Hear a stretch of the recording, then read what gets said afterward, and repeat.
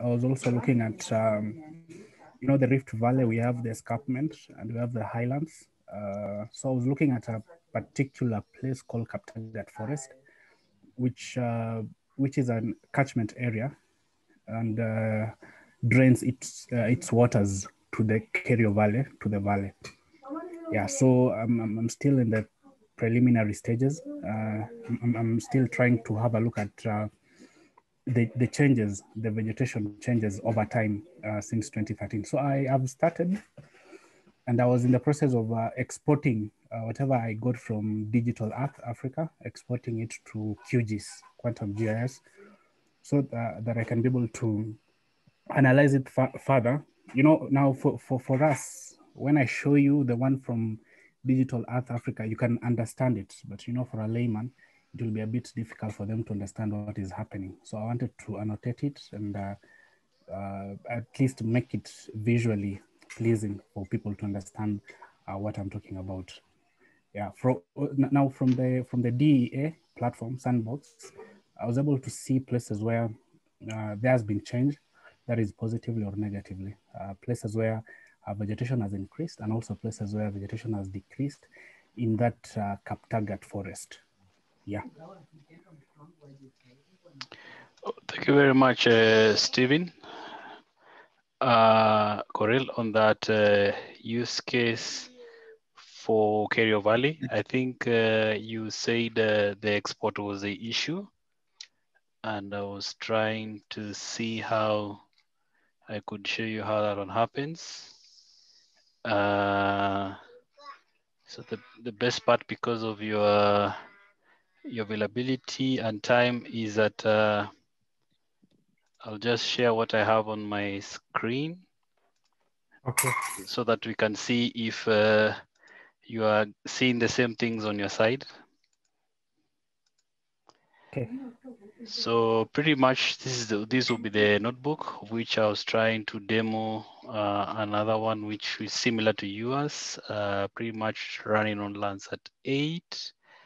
Uh, so here you can choose to have the lat and long and buffer or the lat X and Y, then the years, and uh, your region was able to load. Were you able to reach this point?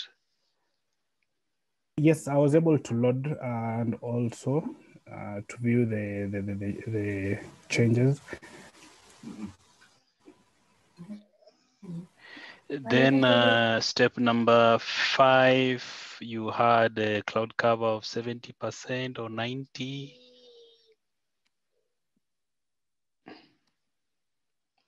Or at least you're using the default notebook, which should be. I, I was using the, uh, I created a composite okay. Uh, I think the composite now uh, picked some good pixels that do not have cloud cover. Okay. Yes. Then uh, you're able to see these steps, step number seven.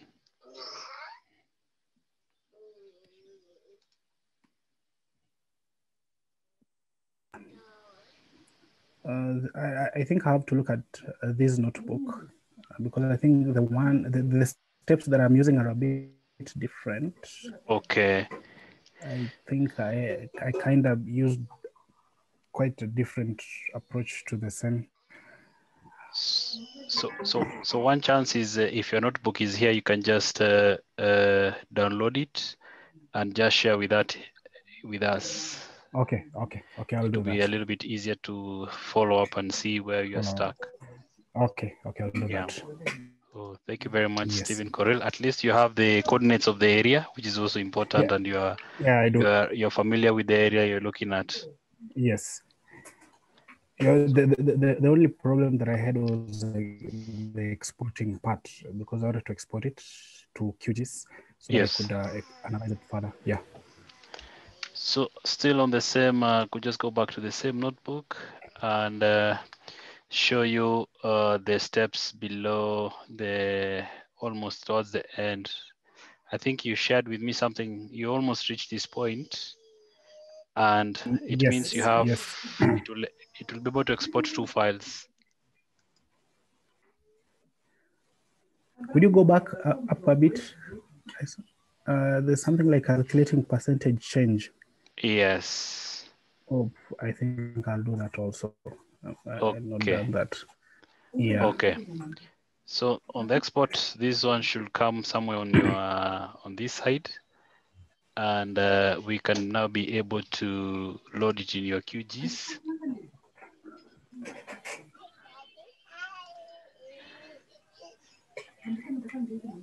Yep, that's possible. Uh, so yeah. So otherwise, uh, thank you very much, Stephen. Uh, we are joined by Stella. Yes, yes, Corin. No, I was just saying uh, I had gone through some dailies from the past uh, that uh, was highlighting uh, the dangers or what is happening in these forests, particularly the Kaptagat forests and other forests along the escarpment of the Rift Valley. So that is one thing that prompted me. The other thing is when you when we are looking at pastoralists in the Kerio Valley, they kind of depend on these catchment areas uh, for for water. Yeah, so those are some of the things that prompted me to try and have a look at uh, uh, the, the, changes on the highlands. And, and, and yeah.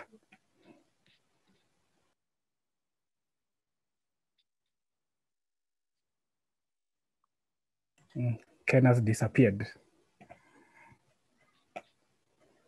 He's going for coffee. uh, I had a small in, uh, visitor, so I had to separate the two toddlers. Otherwise, it will be very interesting session that we're having. So I heard about the area you're looking at, Kaptagat Forest, and uh, that is similar to some stuff that we've done, like with the Mau Forest. I could just show you this uh, PowerPoint which shows you something like will be of interest.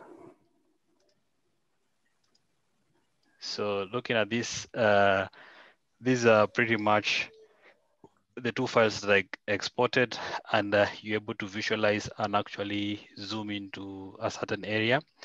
Then the good thing that you talk about the QGIS is that you'll be able to load the like in the version 218 you can load uh, bing maps and you're able to see the exact area and try to bring it out uh, for communication with your the stakeholders. I think that is what you are looking at at the end of it all.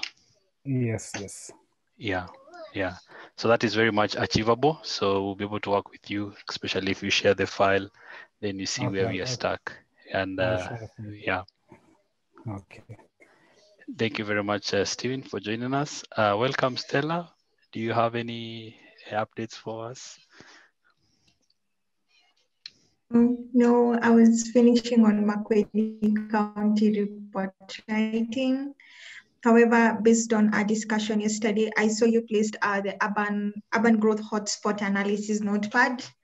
Uh, yes, it's one of those things that I'd really like to try because in Lesotho, the current one that I'm supposed to be working on by tomorrow, we have subcatchment areas within IFAD. And what they want to understand is how to determine the influence of population increase around the subcatchment areas in each sub-constituency, which there are 80 of them. And so it's something that I'm still trying to understand how to go about the 80 catchment areas and understand the influence of population increase on the subcatchment areas. And so for me, the urban growth hotspot analysis is one of them, though your input will be highly recommended. Anyone who can give me more analysis I can do about it would be very helpful. Yes, I can see also Edward is happy to comment that the, the urbanization notebook is running and any highlights for Stella Edwards, sir?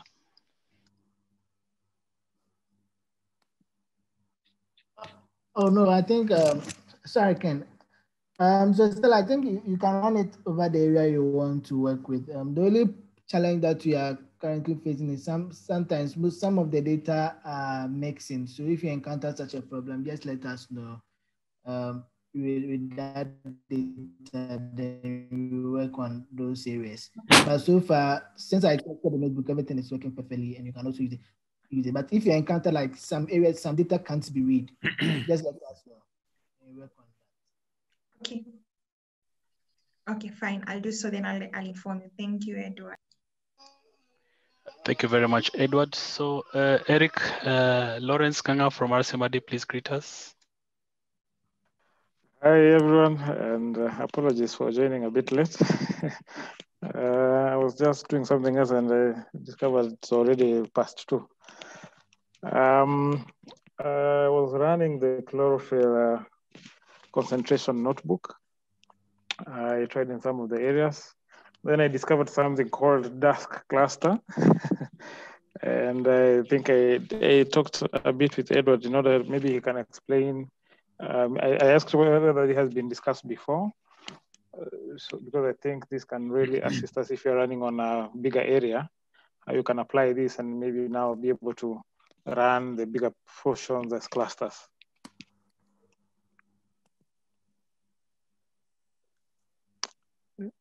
Yes, that's, that's Edward, sir, Edward, over to you. Uh, okay, so I think um, yesterday Lawrence and I communicated about this Dask array and how to use it. So uh, as part of today's agenda, I wanted to add it to the discussion on how uh, when one should use Dask and when one shouldn't use Dask.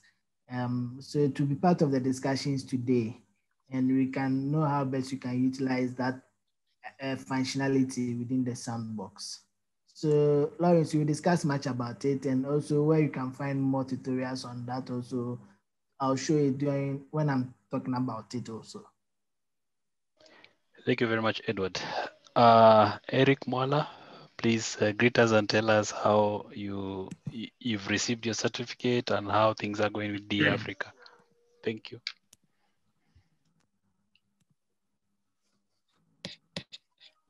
Hello, Ken. Um, thank you. Um, I was able to go to some some study. I chose. Let me. Can I share my screen with you?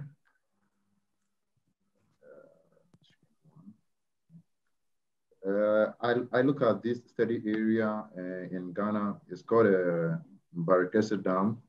Is is is on Offin River. Uh, you can see the dam and it extends. You can see some portion are covered with uh, I think uh, water wheat also.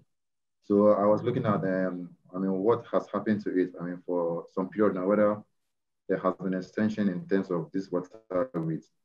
So I look at the water extent. So I use the water, water extent uh, script uh, for that.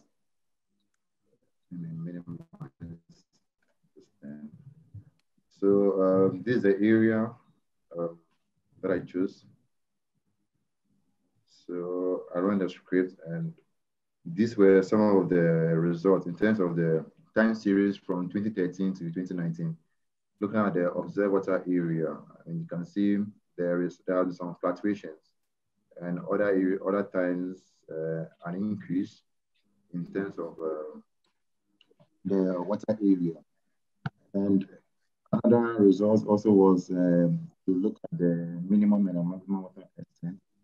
Um, uh, so the minimum period happened within uh, 2019 line and uh, maximum happened uh, 2013 uh, December. So these are the last images uh, in terms of uh, those areas and how they look they look at uh, within those periods.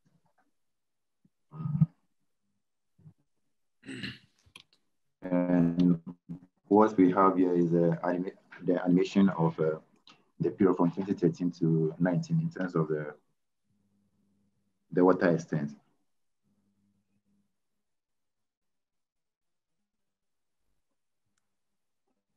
Then we also have here uh, the water extent for the areas in in two in, in those two periods, uh, the the minimum period and the maximum period. We can see here is shorter, here sort of a bit longer. I mean, even though there, there isn't much, you can't see much, but you can see that there's a bit of difference in terms of the shape of the uh, the reservoir.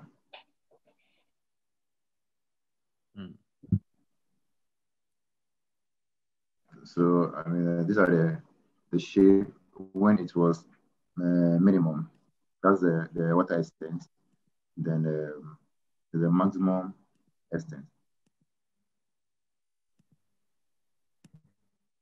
And there was a change of the, the there was a calculation, which was one, one of the results, which look at um, in terms of uh, water to water uh, is 6.7 percent. Water to no water, those are the yellow spots, and water to no water, uh, the green part, then no water. So this, I mean, this is what I, I look at uh, because that is very important because it is a uh, that that reservoir serves the Kumasi region, uh, the, the Kumasi city, which is within the Ashanti region. Yes, so uh, I was trying to look at um, what I made extent because means that if we look at the area, if the area is shrinking, that means the reservoir, water within the reservoir is also reducing. So that means uh, what can we do in terms of decision making? What can we do to really ensure that uh, we maintain or increase uh, this water body? So this is what I look at. Thank you. Thank you very much, Eric Mola. This is very uh, nice. At least something you know, and uh, you have some information about the area. I think also Edward has been to Kumasi. So, any reactions from Edward or Rogus or other members in the group? I, so much. Actually, actually, I do. So I was gonna, just going to show you guys something that my guys are working on. Um, a sneak preview, if you will. Um, so, can you can I share my screen? Sure. Then let me let me zoom. Stop sharing. Okay. Yeah. So Eric, uh, we were thinking about use cases like yours. So I, I have a team that uh, prototypes uh, concepts, and I was wondering if this would be of interest to you guys. So we're we're working on. It's not quite ready yet. We're working on this water extent visualizer. So you pass it the xarray. So this is another lake, and what we've done is we've turned the Z dimension uh, time into the Z dimension. So we have the water extent, and we're actually instead of doing the animation we can kind of zoom in and see that you know maybe at this time period there was no data it was full of nans and we can uh, you know uh, kind of get a better feel for how the water extents have changed over time. Um, and you know can uh, the, the toolkit we're using allows us to do things like change the opacity. I don't know if that's necessarily valuable understanding the data but um, so this is something that if there's interest we can develop a little bit further and um, incorporate it into the sandbox with, you know, I haven't even shown this to Cedric yet. You guys are the first people outside my team to see it, but I thought it would be interesting to see that. Okay. Okay, so, so yeah. So, so um, uh, in the Z, that means uh, you you have the profile of the depth over a uh, over a cross section, or no, this is not the depth. This is actually the water extent. This is exactly what you are okay. looking at and for a different lake. But the Z is the time. So basically every, um, so hold on, let me, let me turn off the opacity. So basically every layer of this is another snapshot of water extent in time. Okay, okay, okay, okay, okay, okay. So, you know, maybe like three three visits uh, ago there was a, there was something and you know then then there was uh, a time where we didn't actually acquire good data. You know, five or six uh, visits ago, there was a time where we didn't acquire good data, and you know there was higher water extent. So this is this is something we want to make available in the sandbox, so you can and with an example notebook, so you can use it for analyses like this, just to visualize your results. Anyway. Okay. So if there's interest, I'll talk to Cedric and see if we can incorporate this. We, we like to look at things like this. So anyway, but yeah, very, very good analysis there. That's very relevant. Thank you very much, August. I think uh, Eric is very excited and he could present something like this to the managers and policymakers. They'll be able now to listen to him for policy and also uh, enforcement. Uh, Edward, any addition? Oh, it's fine. Everything is fine. I think Eric has done a great job and uh, what I was thinking of trying other indices also to see how best you can actually get the results. So using Sentinel, because this one was between Landsat and the WOfS. So if I can also try using Sentinel us to also see the results of how the, the, the results from the image. That also be great. But great job, Eric. Thank you. I'll look at that one as well. So thank you very much, uh, Eric. Uh, we are very happy and also looking forward to further engagement to see how we can actually uh, do much, much more for you and the Water Resources Commission in Ghana. Thank you so much. Uh, we are joined by David from RCMRD. Please greet us and tell us how things are going. Hello, everyone. Um, I'm, I'm doing well. Thank you. I've been trying to run some some things for Nairobi, but seems like either the images are not there or the script uh, is not uh, working properly. I've been in touch with Edward on that, but uh, he promised me as soon as it's corrected, then uh, I should be able to, to run uh, the analysis that I want. Uh, sorry for that, David. David- I think Edward has a something. yes. Yeah, sorry for that, David. So, David, I think the image, some some of the images, the pixel images within that particular area are not there, so it's being resolved. So once that is done, it will it will start working up. Okay, thank you. So thank you very much, David. Uh, uh, Lawrence RCMRD, you've been working on something extra other than the last time we talked last week. We were so grateful for your presentation on the band area mapping. Uh, what else has you worked on? Uh, yes, I tried the chlorophyll concentration. Um, I've not been able to finalize that.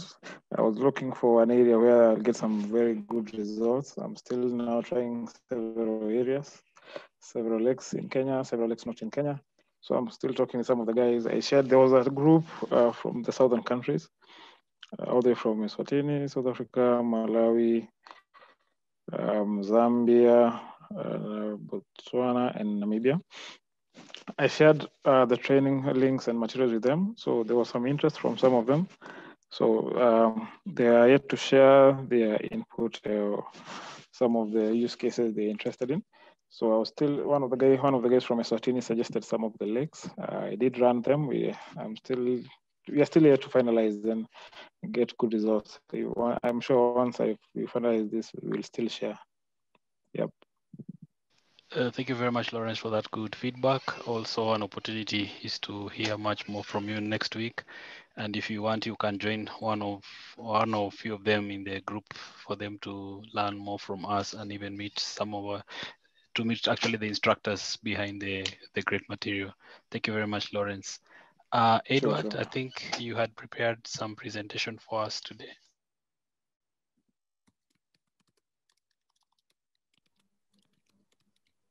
Thank you, Ken. Um, so actually not, um, I just want to talk about the Dask. I wasn't, I didn't get the time to put the presentation together, but let me show this thing here. Okay.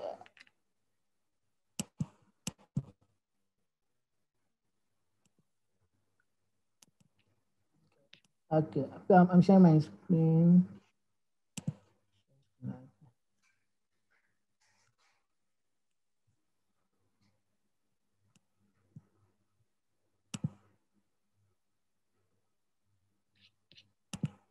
Okay, please can you see my screen? Okay, so if you go to the beginner's guide folder, within it, you have a notepad called parallel processing with Dask. So this notebook, this notebook actually gives more details on how the Dask actually works. But I'll just give an intro to it so that if you go into it, you can easily follow the examples that has been given there over the Dask and also how to load it into your projects when you are working. So normally when you load the data using the DC load or the load ARD, what it does is it pulls all the images from the database onto the system's memory. So if the area that you are working is very large, because the area is very large and the system is trying to pull all those images or the data onto the system memory, it will crash. So you get a problem when you are trying to, you actually see restarting kernel. that means the system has crashed, especially if you are dealing with a very large area. And with the memory that has been allocated as far as the 16 gig. So to prevent that and actually load a very big area into your working area, that's when you can actually call uh, fall upon the Dask. If the area you are working with is quite small, you don't need to use Dask. But once the area you're going to work is very large, you can actually use Dask. So that's allow you to actually load all this data, not onto the memory, but somewhere. So when you need a particular area, then you call it out. So how does how Dask does it is that within your load ARD, you're going to introduce the DAX chunk. First of all, you import the DAX as part when you're importing your modules into your functions. Then after importing your modules, you add this line of code here, create local DAX cluster. So this create local DAX cluster will actually initiate the DAX for you to be able to use it. Then within your DC load the load ARD function, what you do is to introduce the Dask chunk, uh, the Dask chunk module here. So here, what we are trying to tell the data is that when the data is being loaded, at every scene, at every scene, it's supposed to load 3,000 pixels of Y and X at a time. So if you didn't use the Dask chunk and you load the data, it's going to load everything onto the system. But if you specify the Dask chunk, that the time is equal to one and the X and Y, which is 3,000 pixels, it's going to load 3,000 pixels of a time scene at a, at, a, at, at, at a go. So, and doing that is going to break them into chunks for you. So looking down here, there's a perfect example here, which I want to use to explain it very clearly. There's a data that has been accessed within the system. The data that is being loaded is 57.67 megabytes. It's quite small, so it will be able, the system will be able to load it up. but if you apply chunks to it, or if you apply Dask to it, what that is going to do is that it's going to divide the 57.67 based on the pixel size that you specify. Here you specify the pixel size of 3000 by 3000. So it's going to divide it based on that into several chunks. So instead of loading it one at a time, it's going to load it into four different chunks, which is actually, which is actually going to save you an extra uh, 14, uh, 39 megabyte. So anytime you need a particular data, when you depend on the chunk, when you depend on the Dask, it will help you lose the data very fast as compared to depending on the normal ARD load. And it's quite faster and it is quite easier to also use. So using the, uh, the Dask, Dask array will actually help you to load your data faster. But mind you, Dask actually helps you to locate where the data are because Dask will help you to do that breakages divide them into chunks for you, depending on the pixel size you are going to specify. So you can also specify 5,000 pixel at a go. You can actually reduce it to 2,000 depending on how you want to do it. But the Dask actually looks for the data. It doesn't actually knows the data. So if you're able to load all these things and get the value you're actually interested, maybe NDVI, you've actually been able to do the calculation for the NDVI. The next step is for you to load the data onto that platform. And that's that side also some that side some depending on how big the data is, sometimes get to crash the system. But don't worry, once we've been able to load the images and see the results, you can actually depend on the Dask for further analysis. So that is actually there to help us to load larger area. But when it reaches more into an in-depth calculation, some sometimes the, mem- the system of the memory has to count. So although the Dask has been able to help you to load the data onto the platform, you are mm-hmm. doing serious computations because you have to load all the actual values, maybe the NDVI or the NDWI onto the platform. The memory becomes very important here. They can easily crash the system. So although you can use it for a, a, fee, a fair bigger size of an area of interest, when you are actually loading it, mind you, you also have to be, you have to also know the area that you are going to work with. So for more information on the Dask, if you go to the place, that's the training beginner's guide, parallel processing with Dask, to give in-depth and also provide more examples in which you can try it at your end to see how best it actually works when you are using it. Okay, so this is the small explanation I wanted to give on the Dask. Please, any question on it?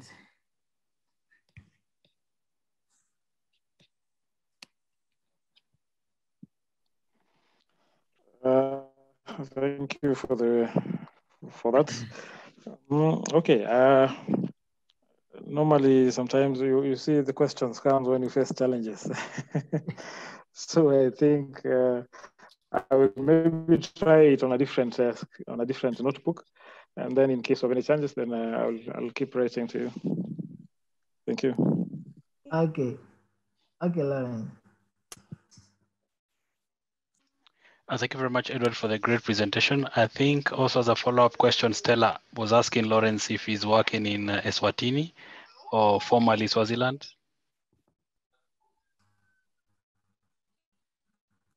Yes, Eswatini is a member state, and uh, I've been there, so I have several friends there. So when they get some challenges, they normally write uh, for maybe assistance or maybe in terms of data or maybe in terms of processing. So yes, I've been there and I know a few of the colleagues and as Eswatini is still a member as a Monday member state. I think Stella has a follow-up question. On any particular project at the moment. Okay. Uh, so I just know a few of the colleagues there, not in any particular project at the moment, just a few friends who sometimes engage with and in case of any need, they reach out and we assist them. Okay, thank you, Lawrence. I'll reach out to you. There's a project you're working on, it's quite a bit difficult. So I'll reach out concerning the same. Thank you for mentioning that. Okay, no problem. You're welcome.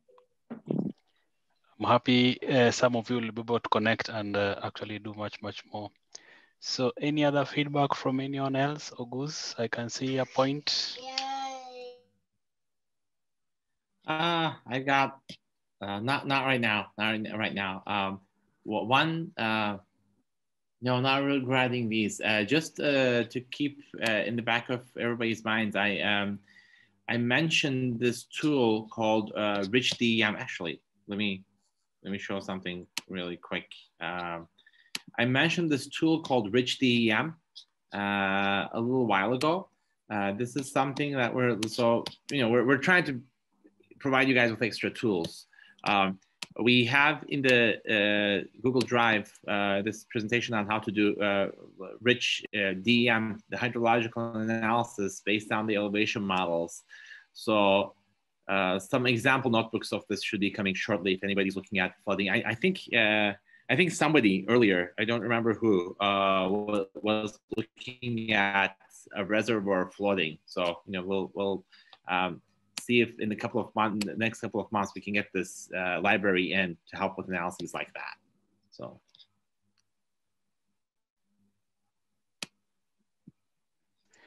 I believe this will be of use for these uh, flooding estimation, etc., etc., especially yes. stuff uh, David is working on.